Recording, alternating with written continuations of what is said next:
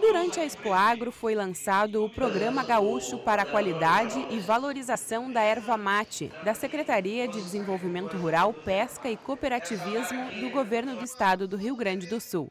O Governo do Estado, através da Imater, através da SBR, lança o Programa Gaúcho. O programa visa contribuir para a adoção de boas práticas na produção e no beneficiamento da erva mate, além do aumento da produtividade, resgate do melhoramento genético dos ervais gaúchos, aumento de renda e fortalecimento da organização da cadeia produtiva. O programa vai atender os cinco polos ervateiros do estado.